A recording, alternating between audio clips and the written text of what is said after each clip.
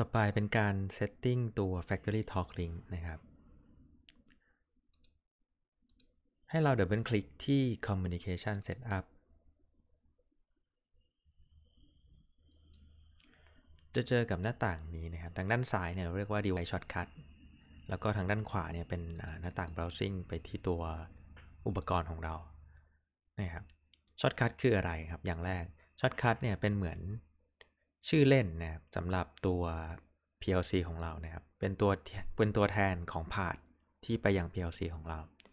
เวลาเราไปเขียนในโปรแกรมใน Object ต่างๆ ใน HMI เนี่ย เราก็จะใช้ชื่อ shortcut เนี่ยแทน IP address ต่างๆ นะครับ ที่เป็น path ไปยัง PLC เพื่อให้ง่ายต่อการทำงานนะครับ อย่างเช่นผม add shortcut ชื่อ my PLC แล้วผมก็มีเจ้าตัว Studio 5000 Logic Emulate นะครับ เป็น emulator นะครับ รันอยู่ตรงนี้ แต่ถ้าเกิดท่านใดนะครับ ใช้ PLC ที่เป็น Network Ethernet นะครับ ก็สามารถแตกเครื่องหมายบวกตรงนี้ได้นะครับ ถ้าออนไลน์อยู่เนี่ย ก็จะสามารถ browse เจออุปกรณ์เนี่ย ผ่าน IP address ตรงนี้ได้เลยนะครับ แต่ถ้าทำแบบออฟไลน์ก็สามารถทำได้เช่นเดียวกันนะครับ เดี๋ยวผมจะลองทำให้ดูนะครับ คลิกขวาเลือก add device นะครับ ใน list device ตรงนี้นะถ้าเป็นอุปกรณ์ประเภทออย่างเช่น compact logic เราสามารถ search catalog number ไปได้เลยนะครับ อย่างเช่นเป็น 1769 L30 นะครับ เราเลือก firmware นะครับให้ให้ตรงนะครับบางทีเลือกไม่ตรงก็อาจจะลิงก์ได้นะ อันนี้ต้องลองดูนะครับ แต่แนะนำว่าถ้ามีให้เลือกตรงเนี่ยก็ให้เลือกตรงไปก่อนนะครับเขาก็จะให้เราใส่ครับว่าอุปกรณ์เราเป็น IP address เท่าไหร่นะครับ แบบนี้นะครับ หลักการนะครับเวลาเราจะแมปปิ้งตัว device เข้ากับ shortcut เนี่ย ให้คลิกที่ device นะครับ แล้วก็กด apply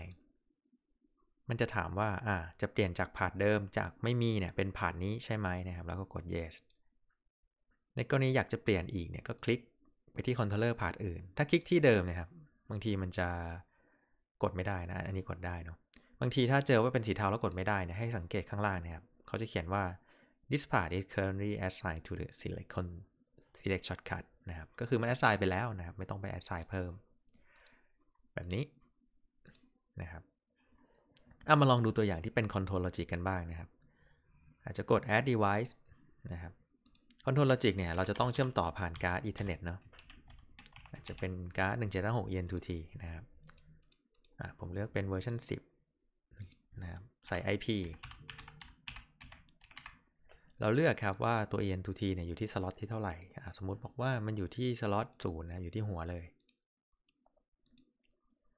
เราก็จะสามารถแตกบวกเข้ามาที่ backplane ตัวนี้ได้นะครับ ซึ่งใน backplane ก็จะต้องไม่มีอะไรนะถูกแล้วเพราะมันออฟไลน์อยู่นะครับ ให้คลิกขวาที่ backplane และ add device เข้าไปใหม่นะครับ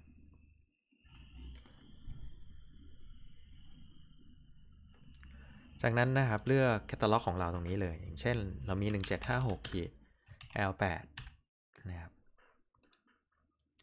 อาจจะเป็น L81 นะครับเวอร์ชัน33 L81 อยู่ที่สล็อตเท่าไหร่ครับ อาจจะอยู่สล็อต1นะครับก็โอเค เท่านี้นะครับเราก็จะสามารถ apply ตัว L81 เนี่ยเข้ากับช็อตการ์ดของเราได้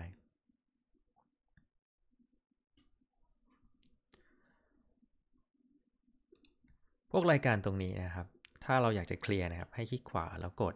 delete children ตัวนี้ แล้วก็บางครั้งนะครับ ถ้ามันไม่ไม่ browse อัตโนมัตินะไม่เจอเนี่ยลองกดคลิกขวาแล้วกด start browsing ตรงนี้ หรือในกรณีที่มีการ์ดแลนหลายการ์ดนะครับ ลองเข้าไปดู property หน่อยนะครับว่ามันใช้การ์ดแลนที่ถูกต้องอยู่หรือเปล่านะครับ ถ้าในคอมมีการ์ดแลนหลายการ์ดอาจจะต้องดูตรงนี้เพิ่มเติมด้วยนะครับ แต่อย่างผมมีการ์ดเดียวเนี่ยเลือกอะไรก็ได้นะครับ จะมีเพิ่มเติมนะครับ อีกนิดนึงก็คือ ในกรณีที่ดีไซน์ตัว Control Logic ไว้เป็น Redundant Card Communication ยกตัวอย่างเช่นนี้ครับ วาดรูปให้ดูนะครับ สมมติมี rack นะครับใน rack เนี่ยก็จะมีการ์ดเนาะ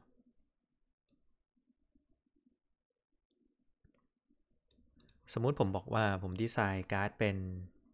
redundant ethernet นะครับ ผมมีการ์ด 1756ขีด EN2T นะครับ อยู่ 2 การ์ด ก็คือการ์ดนี้ แล้วก็การ์ดนี้นะครับ แล้วผมก็มี controller ของผมอยู่ตรงนี้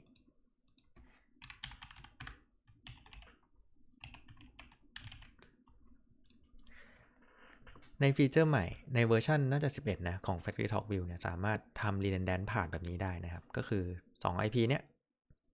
วิ่งเข้า IP ไหนก็ได้ แต่สุดท้ายไปจบที่ controller เหมือนกันนะครับ โดยที่วิธีการ config ทำแบบนี้ ให้เปลี่ยนจากช็อตคั t ไท e เนี่ย จาก processor นะครับ เป็น redundant อ่า ControlLogix controller แบบนี้ พอเราเปลี่ยนมันเป็นแบบนี้ปึ๊บปึ๊บนะครับมันจะ apply เข้าที่ main ไม่ได้นะต้องมา apply ที่ primary แล้วก็ secondary แบบนี้อะผมจะยกตัวอย่างเมื่อกี้ให้นะครับ ก็คือ add เข้ามานะครับ เป็น en2t นะครับ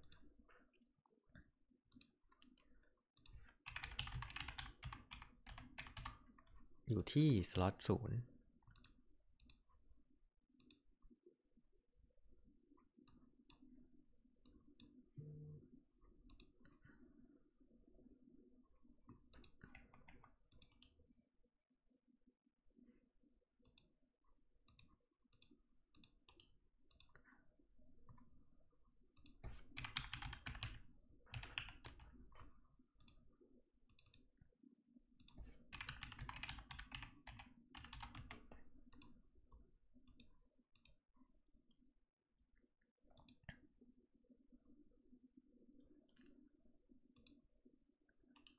แล้ว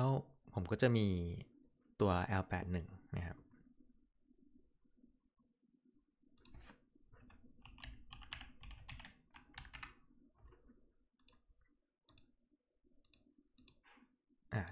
อยู่ที่สล็อต3ถูกไหมครับ ตามรูปภาพนี้ 0 1อ่าอยู่ที่สล็อต2นะครับ อยู่ที่สล็อต2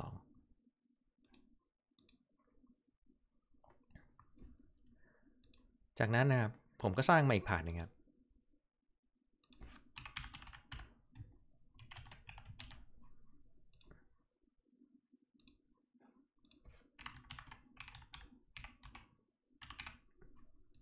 อ่าการ์ดที่2เนี่ยอยู่ที่สล็อตหนึ่งเนาะแล้วก็ เหมือนเดิมนะครับ L81 ก็จะอยู่ที่สล็อต2นะครับอ่าถ้าเป็นลักษณะนี้เนี่ย ผมสามารถเลือก primary path เนี่ย เป็นแบบนี้นะครับแล้ว apply แล้วก็เลือก secondary path เนี่ยมาที่ path ของ IP 21 apply แบบนี้นะครับ อันนี้ก็จะเป็นการเซตเป็น redundant control logic controller นะครับ อีกหนึ่งอย่างนะครับที่โน้ตไว้นะครับสำหรับใครที่ใช้ PLC รุ่น Micro 800 นะครับ Micro 800 เนี่ย ถ้าเลือกเป็น processor เนี่ยจะมองไม่เห็นนะครับ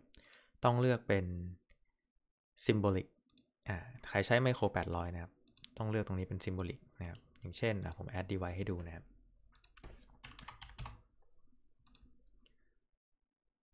เช่น Micro 820 นะครับ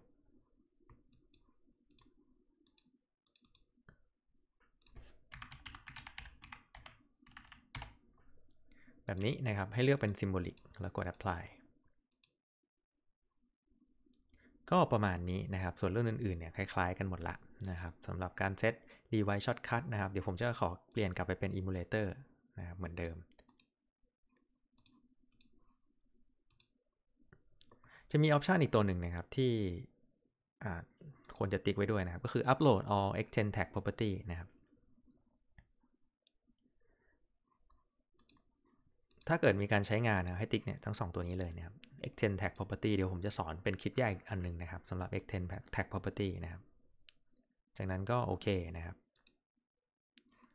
เรียบร้อยนะครับสำหรับตัว factory talk link config นะครับเราสามารถดู server status ตรงนี้ได้นะครับ ว่า status เป็น active หรือเปล่านะครับ โดยการคลิกขวาเลือก status นะครับ แล้วก็หรือจะกลับไปคอนฟิกตัว property นะครับ จะย้ายให้มันไปอยู่บนเครื่องอื่นนะครับ ก็สามารถทำได้เช่นเดียวกันนะครับโอเคนะครับ เดี๋ยวต่อไปคลิปต่อไปก็จะเป็นการ config ในส่วนของตัว OPC DA นะครับ